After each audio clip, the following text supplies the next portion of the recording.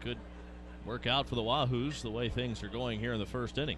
Peralta's pitch, line drive, diving at second is right, and he makes the catch. A headlong dive by Ryan Wright to his left in the hole at second.